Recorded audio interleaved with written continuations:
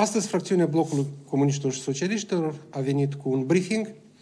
Din câte cunoașteți, săptămâna trecută noi ne-am exprimat uh, nedumerirea despre faptul de ce nu este înaintată legea bugetului de stat pentru anul 2024, lucru care s-a efectuat de fapt sâmbătă, a fost și examinată în cadrul unei ședințe extraordinare a Guvernului. De aceea, fiind prezentat proiectul bugetului de stat pentru anul 2024, noi suntem în fața noastră ca să ne exprimăm opinia referitor la unele uh, elemente ale bugetului, la unele articole, la care sunt foarte multe întrebări. De ce îmi permiteți ca să dau cuvântul colegului nostru, domnul Golovatiuc Vladimir.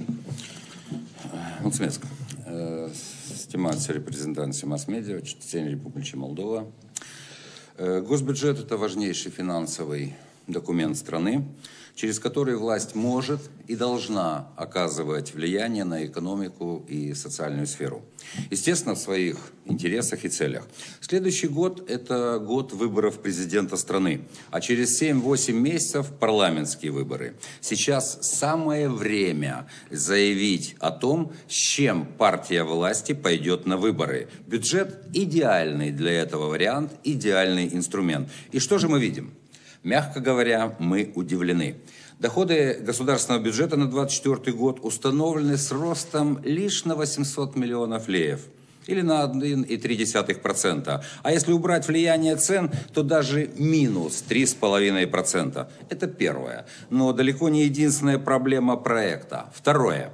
Поступление налогов и сборов увеличится на 5 миллиардов леев. Это впечатляет. Но почему при таком вкладе налогоплательщиков доходы в целом вырастут лишь на 800 миллионов? Все просто. На 4 миллиарда 400 миллионов сократятся гранты, то есть безвозмездная помощь партнеров, в том числе на бюджетную поддержку. 6 миллиардов 800 миллионов до 2 миллиардов 400 миллионов. Практически в ноль сократятся гранты от государств партнеров и на две трети э, от международных организаций. Это вторая проблема проекта бюджета. Но это не самое печальное. Ведь главное в бюджете это не доходы. Это важно, но не это главное. Главное это расходы. Это деньги, которые получит бюджетный сектор, социальная сфера и экономика. На 23 год, например, доходы запланированы э, с ростом на 9%, а расходы увеличились вот в 2023 году на 13%. В 20, на 22 год, соответственно, доходы с ростом на 20, а расходы плюс 37. А сейчас, и вот здесь третья проблема, от бизнеса и населения берут в виде налогов на 5 миллиардов леев больше, чем запланировано на текущий год, а дадут на миллиард девятьсот миллионов меньше. Произойдет своеобразная демонетизация экономики. Экономика остро нуждается в деньгах, а произойдет прямое изъятие. Какой-то пещерный, извините, большевизм. Почему же власть на это идет? И вот тут четвертая проблема. Как известно, у нас всегда дефицит с бюджетом. То есть расходы осуществляются как за счет доходов, это нормально, но и за счет дефицита. И мы всегда говорили, что проблема не в величине дефицита, а в источниках его покрытия. И вот здесь как раз власть и столкнулась с серьезной проблемой. Вернее, даже не столкнулась, а сама к ней сознательно, уверенно и неизбежно уверенно шла. Как говорится, на что, за что боролись, на то и напоролись. Все банально просто. Нет достаточных ресурсов для финансирования не то что увеличения расходов, но хотя бы на уровне прошлого года. Повторю, Расходы установлены с минусом на миллиард девятьсот миллионов леев или минус 2,2%, а с учетом роста цен минус 7%. Что же все-таки произошло? У нас всегда значительная часть бюджетного дефицита покрывалась долгами. 95, 97, а иногда и все 100%. Долгами внутренними и внешними. И вот здесь проблема. Буду краток. За счет внутренних займов минус полтора миллиарда. На этот год предусмотрено 6,5, Вложения на следующий год 5 миллиардов, минус полтора миллиарда. Хотя кредитор, банки, у них банковская ликвидность э, зашкаливает. Но самое интересное в части внешних займов. Мало того, что их поступление более чем скромно, так еще и сумма возврата ранее полученных кредитов огромна по сравнению с прошлым годом. На этот год предусмотрено практически миллиард долларов получения внешних займов, а на следующий всего лишь 780 миллионов. Судите сами. В 2022 году было получено 15 миллиардов леев, а возвращено 2 миллиарда 100 миллионов. Возврат ранее полученных кредитов составил всего лишь 14% от новых кредитов. На 2023 год было предусмотрено, соответственно, 18 миллиардов 200 миллионов получения и погашение 9 миллиардов 200 это 50%. Но по факту за 10 месяцев э, возврат уже 58%. На 24 год планируется получить 14 миллиардов 800 миллионов, а вернуть 10 миллиардов 800 миллионов. Уже более 73%. Замечаете рост? 14% возврата от полученных кредитов в 22 50-58 в текущем, а на 24 год 73%. К чему это я? Все просто. Для финансирования расходов используется не сама э, сумма полученных займов, а нетто-позиция, то есть после возврата. В 2022 году осталось после погашения 13 миллиардов леев – в том числе э, в текущем году порядка 8 миллиардов 900 миллионов, а на следующий год только 4. 14,8 получение, 10,8 возврат. Следовательно, за счет внешних займов можно профинансировать расходы на 4,9 миллиарда меньше, чем в текущем году. А в целом за счет долгов на 6 миллиардов 400, минус полтора миллиарда, миллиарда внутренние займы и внешние 4 900. За счет рекредитования мы видим в источниках дефицита плюс миллиард семьсот миллионов, и на 2 миллиарда больше будут использованы остатки на казначейских счетах. Вот и все минус 6 миллиардов 400 долги, плюс 1,7 рекредитование и плюс 2% от казначейских остатков. Минус 2 миллиарда 700 миллионов. То есть на 2 миллиарда 700 миллионов сократятся источники финансирования расходов сверх полученных доходов. По доходам имеем плюс 800 за счет э, источников финансирования минус 2 700, получается, расходы уменьшатся на миллиард 900 миллионов. Это неизбежно. Вот и вся бухгалтерия. Это по поводу того, что в проекте бюджета. Теперь 60 секунд по поводу того, что за этим стоит или что к этому привело.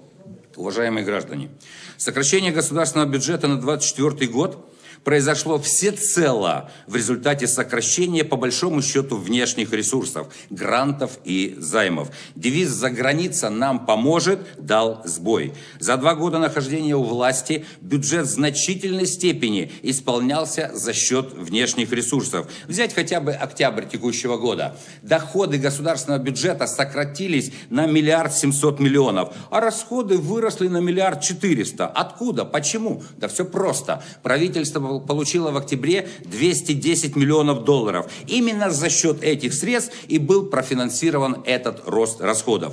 Ориентация на внешнюю помощь при полном игнорировании нужд экономики не могла закончиться добром. И мы об этом постоянно говорили. Серьезным же фундаментом благополучия в стране может быть только стабильно функционирующая экономика, производственный сектор, а также уверенно и комфортно чувствующий себя отечественный бизнес. Именно на это и должна быть направлена вся деятельность правительства. Естественно, без ущерба для отношений с нашими надежными партнерами. Конечно, мой коллега очень квалифицированно разложил все по полочкам. И надеюсь, что те специалисты, которые, те специалисты, которые слушают нас сегодня, они из этого извлекут много полезного интегральной оценки э, представленного бюджета. Я бы хотел сказать попроще и для людей, которые не являются специалистами в этом деле, но которые живут, тем не менее, по представленному закону о бюджете и которые это будут чувствовать все на своей собственной шкуре. Так же, как и в домашнем хозяйстве. э, внешнее, заим, внешнее заимствование, да и внутреннее заимствование означает одну очень простую вещь. Берешь чужие на время, отдаешь свои навсегда. Так и в нашей ситуации. Заимствования, которые, э, за счет которых вытаскивают сегодня э, бюджет, которые полностью идут на покрытие дефицита бюджета, не создают новых источников для возврата этих средств.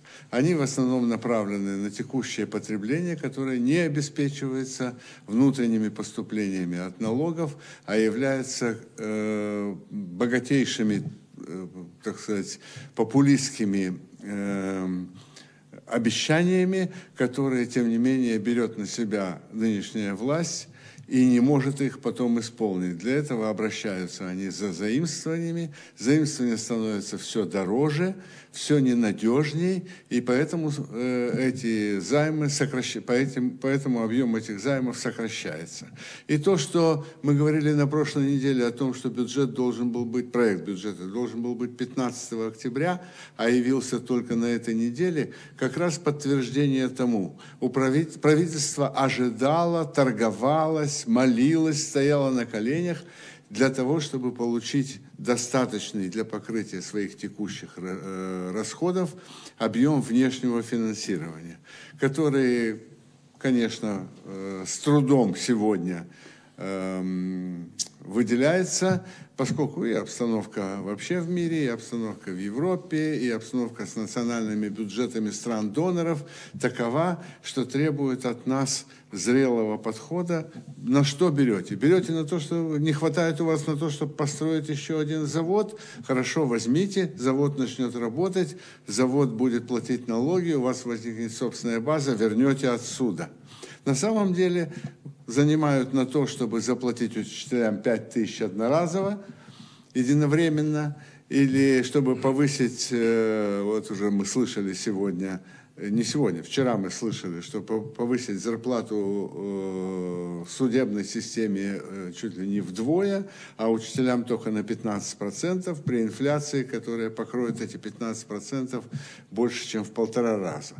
Вот и все. То есть жить не станет лучше по этому бюджету, а главное, что жить не станет перспективнее по этому бюджету. Мы ничего не создаем нового, мы только, э, мы, это я имею в виду Республика Молдова под руководством нынешней власти, мы только распродаем старое. Вот сейчас э, опять возникнет вопрос, связанный с разделением железной дороги.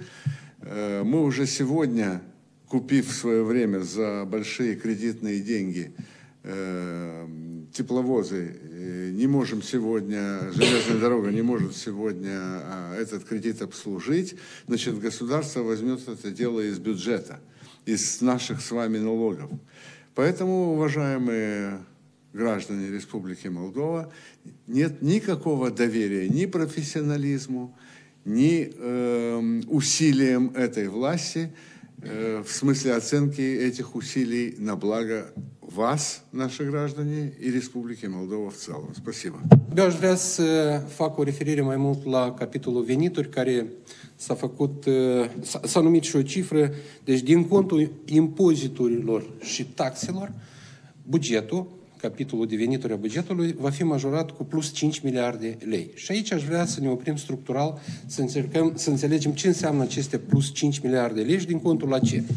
Deci, la capitolul TVA, în anul 2024, uh, guvernarea în proiect a stabilit suma de 34 întreg și 176 uh, miliarde lei. Acum, dacă uh, facem o comparație cu anul 2022, deci executat a fost 28 miliarde 500, 900 uh, milioane lei, adică minus 6 uh, miliarde aproximativ. Pe anul 2023, de asemenea, au fost stabilite 34 miliarde lei, însă în 10 luni a anului 2023 avem îndeplinirea de 24,6 miliarde lei. Deci haideți să fim realiști, până la sfârșit de an, dacă vor fi acumulate 28 de miliarde, așa cum a fost în anul 2022. Și nici de cum nu vor fi 34 miliarde lei, așa cum planifică uh, guvernarea. Ne întrebăm, diferența de 6 miliarde neîndeplinire, de unde această cifră a fost desenată în buget? Sau ce stă la fundamentul acestei uh, logici, a acestei cifre? Ori guvernarea va mări uh, sau va susține domeniul de afaceri și vor crește vânzările sau va mări puterea de cumpărare a consumatorilor și vor procura mai multe bunuri și servicii? Sau stă o uh, temere de creștere a prețurilor, care tot este uh, unul din argumente care ar putea fi majorată această încasare la buget. Deci, iată aici, uh, vrem să obținem răspuns concret la aceste întrebări. La impozitul pe venit, deci uh, a persoanelor juridice, în anul 2023 au fost 8 miliarde 100 milioane lei. În anul 2024, guvernarea planifică 9 miliarde 300 milioane lei. Deci diferența, practic, 1 miliard 200 milioane. Oare chiar vor obține agenții economici așa mari profituri că se preconizează să se obțină aceste uh, venituri suplimentare? Sau aici este undeva indirect uh, reflectat veniturile băncilor comerciale uh, în legătură cu intrarea în vigoare a legii privind limitarea numerarului? Probabil. Deci sperăm că să obținem răspuns la aceste întrebări. Și o altă un alt element a capitolului de venituri la care noi am vrea să atragem atenție este uh, granturile. Așa cum a făcut referire colegul nostru, domnul Golovatiuc, deci în 2023 guvernarea a planificat 6 miliarde 800 milioane lei că vor obține ca granturi. De facto, de facto, în 10 uh, luni ale anului 2023 a obținut doar 3 miliarde 600 milioane. Deci minus 3 miliarde 100 milioane care nu le-au primit. În proiect pentru anul 2024 sunt stabilite doar 2 miliarde 390 milioane lei. Într-adevăr, за граница вам не поможет. Uh, și un uh, articol de venituri care am vrea să tragem atenție populației, niciun guvern nu poate să-și planifice cu un an înainte ce amenzi și penalități va colecta. Necătând la acest lucru, noi, în dinamică, dacă analizăm ce încasări au fost în anul 2022 pe seama amenzilor și penalităților, atunci vedem 381 milioane lei. În 2023, pentru 10 luni, avem 330 milioane lei. În 2024, guvernarea planifică 401 milioane lei, ceea ce înseamnă că controlele fiscale, controlele organizațiilor publice vor fi și mai stricte și se va păstra dinamica acestora pentru a răsuci la maximal și a îndeplini capitolul întâi la care m-am referit cu TVA-ul.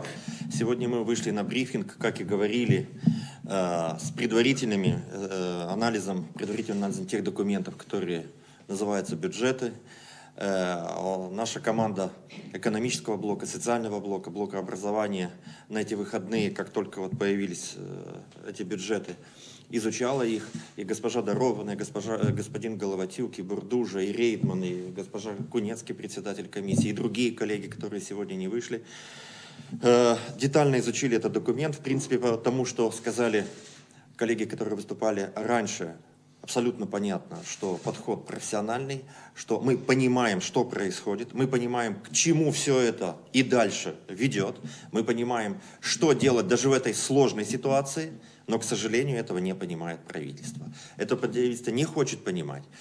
Они, наверное, путают тот общественный активизм, который у них был до вхождения в правительство, и те беззаботные времена детей в кедах с конкретной ответственностью за конкретного гражданина, за всю страну.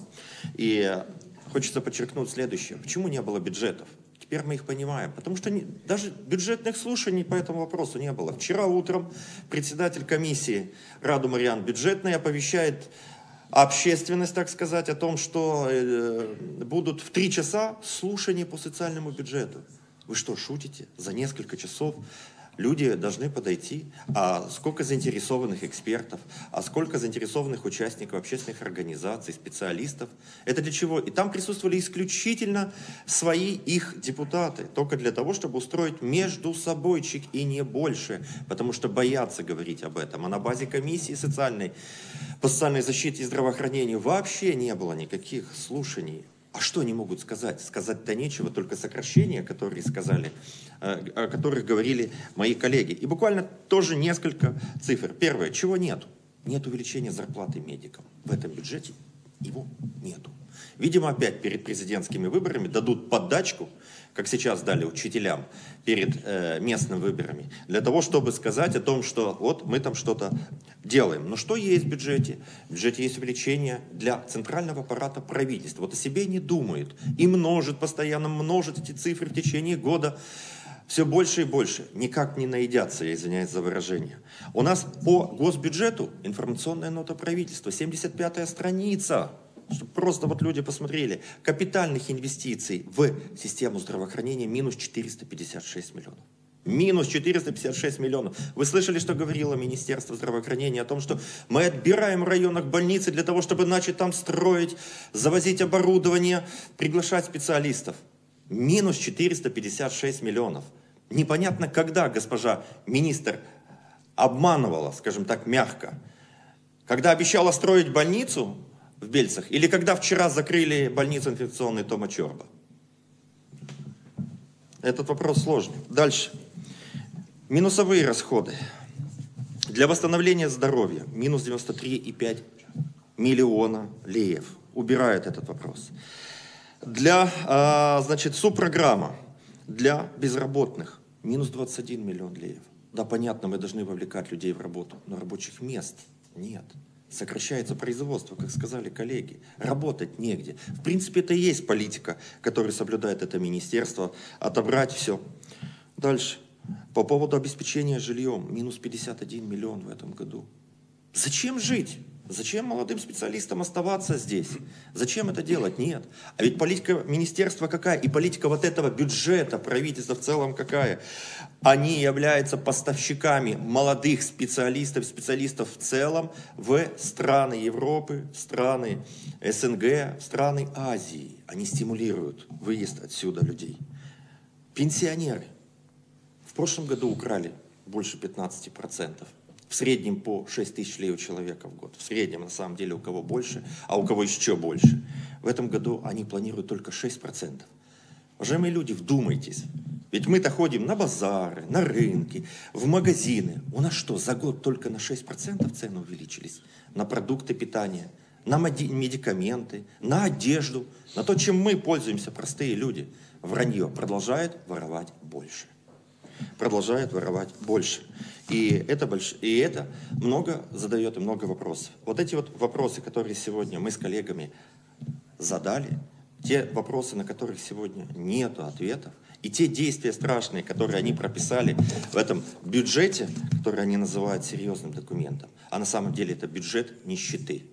Это бюджет пустого холодильника, бюджет меньше хлеба, меньше продуктов питания, мяса, рыбы и э, молочных продуктов. Вот что такое сегодняшний бюджет. И будет еще хуже. И все эти вопросы мы сейчас идем на комиссии, которые у нас в 10 часов будут, и будем задавать представителям правительства. Если, конечно, они придут защищать эти бюджеты, они пошлют начальников отделами или в лучшем случае замминистров. Спасибо большое.